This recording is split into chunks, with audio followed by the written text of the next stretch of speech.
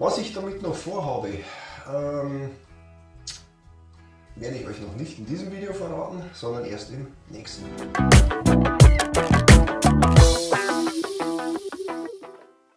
Habe die Ehre und grüß euch zurück hier auf meinem Kanal, dem Kanal vom Bavarian Vinyl Nerd. Ja, wieder sind wir im Bastelkeller zusammen und wieder starte ich ein neues Projekt dieses Jahr. Ja, eins meiner größten Projekte bis jetzt hier auf meinem Kanal. Und äh, ich will euch nicht so lange auf die Folter spannen. Es geht um dieses tolle Gerät, das sich da unter dieser Staubschutzhaube befindet. Und zwar geht es um einen Dual CS 130 beziehungsweise er heißt eigentlich Dual ASP 130 und zwar ist es ein Plattenspieler, der verbaut wurde in solchen Türmen, wie jetzt hier der, dem Rosita-Turm, da wo auch diese Sony Stereoanlage drin verbaut war, die ich für euch wieder auf dem Kanal äh, hergerichtet habe. Ihr könnt es da oben im, im Eck, da in dem, irgendein Eck, äh, könnt ihr euch mal kurz nochmal anschauen, das Video.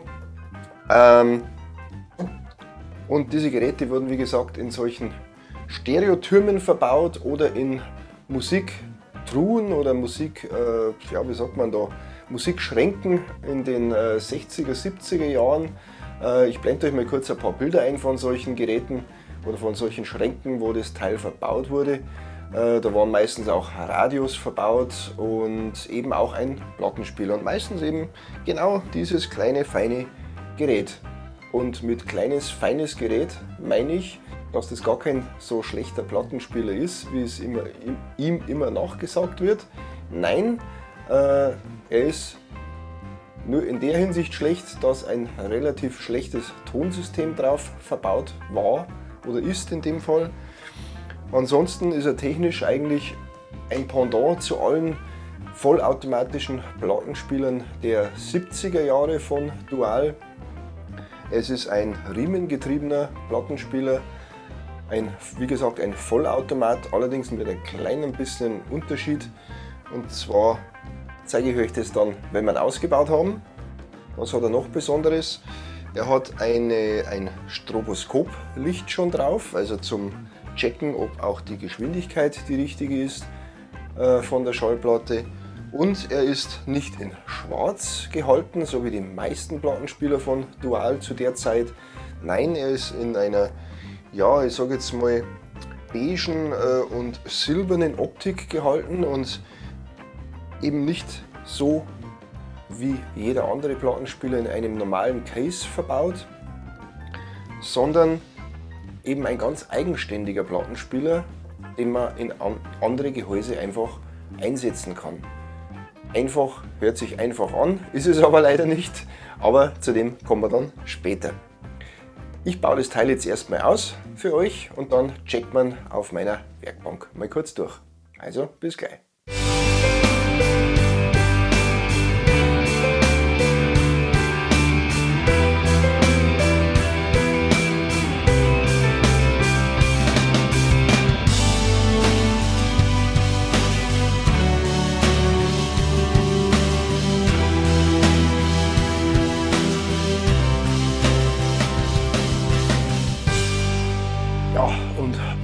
Plattenspieler dann eben in dieses besagte Gehäuse wieder einbauen zu können, braucht man auch dieses Subchassis, das hier unten drunter verbaut ist. Das ist eben unten mit ja, so, so Klammern, ist das eigentlich nur festgemacht, das Ganze. Und die Klammern muss, muss ich jetzt nur noch lösen, dann kann ich dieses Schub, Schub,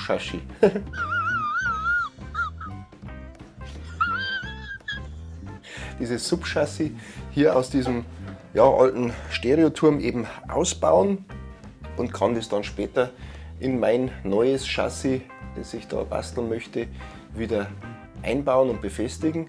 Und dann können wir auch diesen Plattenspieler eben mit diesen besagten äh, Gummifüßen oder dann vielleicht auch mit gefederten Füßen, das weiß ich noch nicht genau, wieder einbauen. Und das machen wir jetzt einmal kurz. Ich baue jetzt dieses Subchassis für euch aus in der Nahaufnahme, dass ihr das einmal mitkriegt, wie sowas funktioniert, beziehungsweise wie einfach das eigentlich geht. Ja, und jetzt haben wir hier die Kamera mal so positioniert, dass ihr das auch seht, das Ganze. Jetzt muss ich hinter der Kamera arbeiten und gleichzeitig vorne mit meiner Spitzzange hier diese Klammern gerade biegen. Hoffe, dass mir das jetzt auch so hinhaut, wie ich das vorhabe. Und wie man sieht, geht es doch nicht so einfach, wie ich gesagt habe. Da werden wir jetzt einen Schraubenzieher brauchen. Wieder Schwede, die das festmacht. Ich sehe da gar nichts. Six and a half hours later. Ja, und wie man jetzt schon sieht, äh, die Klammern gehen doch nicht so leicht raus, wie ich gedacht habe. jetzt habe ich natürlich da das ganz grobe Werkzeug verwendet. Ah, also müssen wir so quetschen. Und habe jetzt da mal diese gute Rosita, diesen Stereoturm, äh, mit dem Hammer einfach einmal ein bisschen zerlegt, das Ganze. Und jetzt ist auch dieses äh, Chassis fast frei, dass man jetzt das Teil da rausnehmen kann. Allerdings muss ich erst einmal die Werkbank ausräumen, weil sonst mache ich dann irgendwas kaputt da hinten. Jetzt wird es nochmal grob. Jetzt klopfen wir da nochmal kurz seitlich drauf, dass wir das komplett lösen können, das Teil da.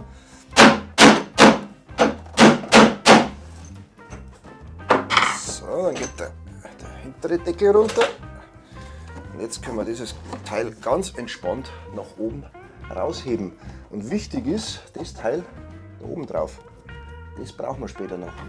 Ja, und jetzt sind wir wieder in der altgewohnten Kameraeinstellung. und jetzt haben wir das Teil hier endlich rausgebracht aus diesem Rosita Stereoturm. Und jetzt können wir uns dran machen, dass wir das komplette Teil da wieder rausfriemeln oder herunterpfriemeln von, diesem, von dieser oberen Platte.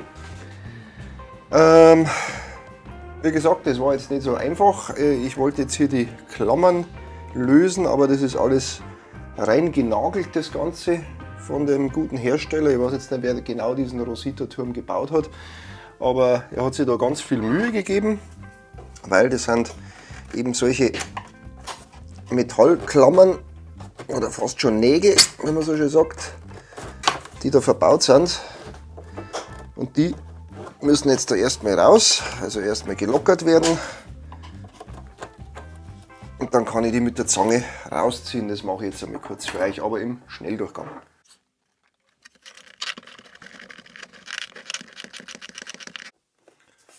So, nochmal ganz kurz.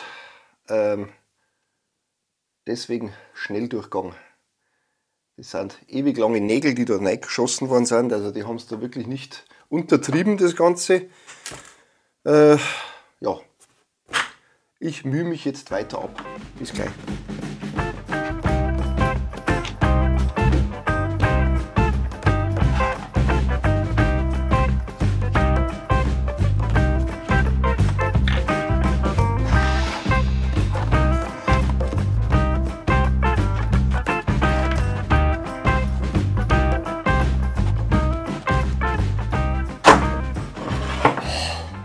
So, nachgefüllt eine Million äh, von diesen verdammten Nägeln da. Oder in Bayern sagt man U-Hagel. Die haben es da nicht untertrieben, habe ich schon gesagt. Und äh, ja, ich habe es endlich draußen, Gott sei Dank. Und jetzt kann ich dieses Teil ganz einfach oben rausheben. So einfach, wenn es vorher gegangen wäre. Was, man dabei, was ich jetzt dabei beachten habe müssen, ist natürlich, dass ich da ein bisschen vorsichtig handle, auch wenn es jetzt rabiat ausgeschaut hat mit dem Hammer und so weiter. Aber dass man dieses alte Plastik, da wo wahrscheinlich nicht mehr viel Weichmacher drin ist, nicht gänzlich zerstört. Aber wir sehen, wir haben jetzt hier ein, ein schönes Subchassis vor uns, das wir noch ein bisschen sauber machen müssen, aber ansonsten ist ja das noch top in Schuss und hat eben diese Aufnahmen für diese Gummis, die ich euch gleich zeige, oder beziehungsweise für diese Lager von diesem Plattenspieler, ähm, die brauchen wir eben später noch für das neue Gehäuse. Das legen wir jetzt mal zur Seite und dann sage ich euch noch kurz was zu, diesem, äh, zu diesen Teilen hier. Diese Leisten, die jetzt da hier verbaut sind, die brauche ich später auch wieder. Die baue ich dann noch Jetzt in diesem Video nicht, aber die baue ich später dann noch runter. Die eine hat sich schon gelockert. Also die ist auch mit festgenagelt gewesen. Deswegen sind da so lange Nägel drin. Die war auf, diesem oberen, auf dieser oberen Platte festgenagelt. Diese Leisten brauchen wir später noch, dass wir das ganze Teil dann oder diesen, dieses untere Gehäuse wieder an dem neuen, an dem neuen Gehäuse festmachen können. Wie gesagt, das machen wir später. Und was wir da auch brauchen, ist das Ding als Vorlage zum Fräsen. In dem neuen Gehäuse kommt natürlich auch ein neuer Deckel drauf, nicht dieser. Und da brauche ich das Teil natürlich als Vorlage, dass ich genau diese Form, die hier drauf ist, rausfräsen kann, damit auch der Plattenspieler dann später wieder hier so reinpasst. Genau wie er früher auch in diesem Gehäuse war. Dieses Dual 130 Automatic Belt Drive Schild da vorne, das mache ich noch ganz vorsichtig ab. Das kommt wieder auf, den, auf das neue Gehäuse, inklusive einer klein, einiger kleiner Gimmicks, aber das kommt im Video, wo ich dann das Gehäuse baue. So, wir legen das mal zur Seite und dann nehmen wir uns mal den guten ASP 130 von Dual hier vor, den ich euch jetzt mal kurz vorstelle, ähm, was er denn so an Besonderheiten hat. Er ist ein ganz normaler Standard Automatik Plattenspieler von Dual, der wie gesagt in verschiedenen Gehäusen verbaut wurde damals das Schöne ist, wie gesagt, er ist äußerst mobil. Also man kann wirklich dieses Teil nehmen und gleich eine Schallplatte, wenn man möchte, abspielen. Ähm, er hat hier auf dieser linken Seite hat er seine Umschaltung von 33 auf 45. Eben auch wieder geregelt über, über diesen typischen Umschalter von Dual, der auch in ganz, ganz vielen anderen Geräten verbaut wurde, so auch wie im 5053, den ich für euch schon auf dem äh, Kanal hergekriegt habe, wie auf dem 605er und so weiter und so fort. Also diese Umschalter wurden immer wieder über die Jahre eingebaut in diese ganzen Automatik-Plattenspieler bzw. in die Plattenspieler. Dann haben wir hier den Start- und Stopp-Wählknopf, also dann eben, dass er automatisch startet und auch wieder automatisch stoppt. Er hat halt eine automatische Tonarm-Rückführung dann haben wir hier drüben unseren Tonarm. Und wie gesagt, er hat diese schöne, also für mich persönlich eine schöne Optik. Eben mit diesem Silber und mit diesem Dunkelgrau. Oder Silber ist eigentlich schon fast so Beige-Ton. Aber vielleicht liegt es ja am, am Dreck der Zeit, äh, dass das schon so beige ist. Ich probiere das mal ein bisschen zum Saubermachen mit äh, Isopropanol. Mal schauen, ob, ob man da was machen kann. An einer, an einer Stelle immer sowas, diese, diese Reinigung immer probieren an einer Stelle, wo, die man nicht gleich sieht, also am besten auf der Unterseite.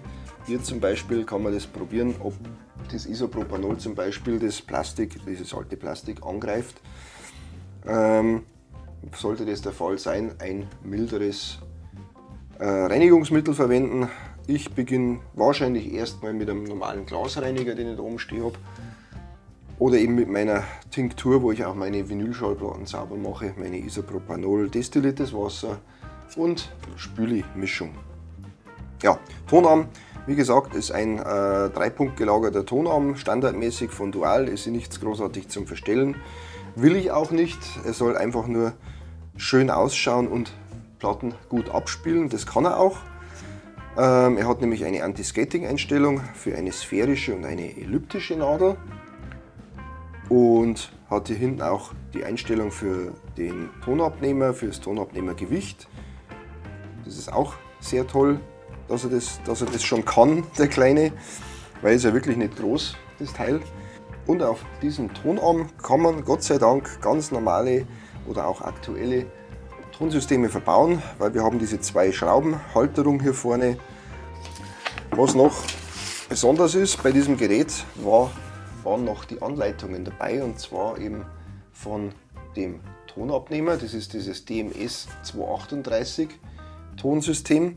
Eine Nachbaunadel möchte ich für dieses Tonsystem mir nicht mehr besorgen, weil ich werde hier drauf wahrscheinlich ein anderes Tonsystem montieren. Das, was genau für eins, das weiß ich jetzt noch nicht. Äh, Ob es jetzt ein Audiotechniker wird, ein Orthophon, man wird sehen. Das entscheide ich dann kurzfristig, wenn der Plattenspieler denn mal zusammengebaut ist wieder und äh, von der Optik muss mich das dann überzeugen, dieses Tonsystem, was dann drauf kommt. Es wird auf alle Fälle ein MM-Tonsystem.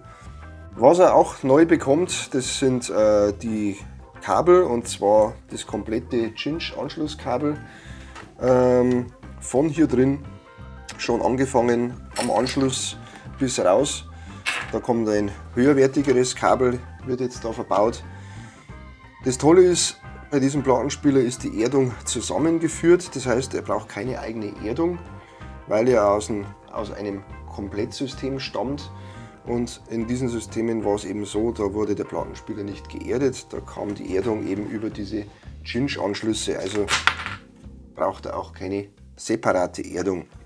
Den Riemen bekommt er neu, da habe ich schon einen neuen bestellt bei Tucker EU. Gibt es tatsächlich noch für diesen Plattenspieler den neuen Riemen. Was er auch bekommt von mir, ist natürlich eine Komplettschmierung, Ölung, ähm, aber hoffentlich nicht die letzte Ölung. ähm, bekommt komplett alles abgeschmiert. Auch hier das Kurvenrad braucht neues Fett, also da ist nur das alte Fett drin, das, ist, das klebt schon ziemlich ziemlich stark. Motor sollte er nicht mehr richtig funktionieren nach einer, äh, nach einer gewissen Laufzeit, äh, ist kein Problem. Ich habe so einen SM100 habe ich noch hier bei mir, den man auch wunderbar hier an dieses Netzteil anschließen kann. Und ja, er hat ein Netzteil, dieser Plattenspieler. Brauchen wir mal kurz einen Schraubenzieher und dann schrauben wir das Teil kurz auf. Das dauert ja nicht lang. Das ist ja nur eine Schraube. Dann kann man das Ding nach oben abnehmen. Muss man aufpassen, weil das sitzt einfach da so drauf und ist nur mit einer Schraube gesichert. Also er hat ein normales Netzteil. Der einzige Nachteil ist, er hat keinen direkten Anschluss jetzt für Strom, weil die Stromstecker, die hier drin verbaut sind oder waren, äh, sind baugleich mit den Stromsteckern von diesem guten Stück hier hinten, von dem äh, 1237er, den ich in diesem Video für euch wieder aufgehübscht habe und in dieses tolle Holzgehäuse, alte Holzgehäuse verbaut habe. Ähm, da habe ich diese Stecker verwendet, beziehungsweise das Netzkabel verwendet. Und äh, weil ich eben noch nicht wusste, was ich vorhabe mit diesem Plattenspieler. Hier bekommt er eben ein neues Netzkabel auch noch mit eben einem direkten Anschluss. Also ich nehme, ich habe von einem alten Netzteil noch diese Klammern hier, die man da so drauf steckt, äh, die werden auf dem Kabel drauf gelötet und sauber isoliert und dann kommt es da rein, rein oder da drauf und dann hat man hier einen sauberen Stromanschluss. Was er auch bekommt, er bekommt von mir 1, 2, 3 neue Kondensatoren, also meine, diese berühmten Knallfrösche, die man so schön sagt, äh, weil er beim Ein- und Ausschalten ich habe mir, wie gesagt, gehst wieder weg. Ich habe mir, wie gesagt, schon äh, getestet. Nein, nicht wie gesagt. Ich habe ihn schon getestet im Vorfeld. Ach so, ach so, jetzt, jetzt haben wir die. Und er macht natürlich diese typischen Knacksgeräusche äh, beim Ein- und Ausschalten. Und das äh, mündet natürlich von diesen drei Kondensatoren, die da schon ewig lange drin sind und 1, 2, also der große und der ganz der kleine Kondensator, die sind mittlerweile auch schon wieder aufgeplatzt. Ja, und der mittlere sehe ich gerade, in dem Moment hat er auch schon Risse. Also werden wir die ganzen, das ganze Teil ausbauen, neue Kondensatoren drauf und dann flutscht dieses Teil wieder wunderbar. Was auch kommen wird, ich werde das Lager von diesem äh, Plattenspieler, dieses Tellerlager, auch ausbauen und neu ölen, also sauber machen mit Isopropanol, komplett fettfrei und neu ölen, dass, der wieder, dass sich das Lager wieder sauber dreht. Ja, er bekommt im Prinzip einen kompletten, eine Komplettüberholung, damit ich ihn in ein Gehäuse einbauen kann, das ich mir selbst machen werde. Ja, und da seid ihr auch live dabei. Und deswegen habe ich am Anfang des Videos gesagt, das wird mein größtes Projekt dieses Jahr, weil eben ich das komplette Gehäuse selbst bauen werde. Ich habe mir da schon einiges an Holz zusammengesammelt, zusammengekauft. War jetzt nicht das allerbilligste, leider Gottes. Ja, dank, äh, ich weiß nicht was. Auf alle Fälle ist Holz momentan sehr teuer. Und ich habe das zusammengekauft bei eBay Kleinanzeigen und jetzt habe ich das Holz soweit hier und mit dem werden wir ein neues Gehäuse basteln hier für diesen schönen, noch nicht so schönen, aber dann hoffentlich schönen Plattenspieler. Ganz kurz zum Schluss, er hat auch passend zu der ganzen Optik von diesem Plattenspieler mit diesem Grau und diesem äh, Silber, hat er auch natürlich den Plattenteller auch in dieser Optik, auch in diesem ja, gräulichen Ton und auch hier das Grau an der Seite, wo diese Vierecke sind für die Pitch Control. Und er hat auch die Original Gummimatte noch dabei, die ist noch sehr weich. Also das ist natürlich toll, weil dann kann man die natürlich auch wieder hier schön auf dem Plattenspieler verbauen. Was noch toll ist, ganz zum Schluss jetzt, dass das Video nicht wieder zu lange wird.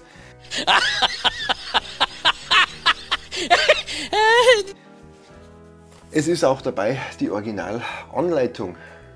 Und um es euch nochmal ganz genau zu zeigen, der Hersteller von diesem Plattenspieler ist wirklich dual in St. Georgen in Schwarzwald.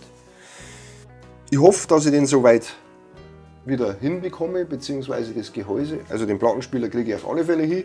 Aber ob ich das Gehäuse, das ich da bauen möchte für diesen Plattenspieler, soweit hinbekomme, mit meinen äh, Heimwerker, Schreiner-Skills, da könnt ihr selbst gespannt sein, genauso wie ich.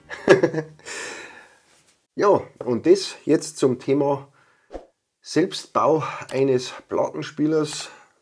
Selbstbau in Anführungszeichen, also ich baue ein Gehäuse, baue diesen ASP 130 in dieses Gehäuse ein und dann hoffe ich, haben wir wieder einen wunderschönen Plattenspieler hier bei mir im Bastelkeller stehen. Der nächste Step ist jetzt eben das Gehäuse bauen und da seid ihr auch wieder mal mit dabei. Da nehme ich euch wieder mit und vielleicht auch in eine andere Werkstatt vielleicht zu meinem Schwager, weil der hat nämlich eine Holzwerkstatt zu Hause mit allem, was man so braucht, um so ein Gehäuse zu bauen.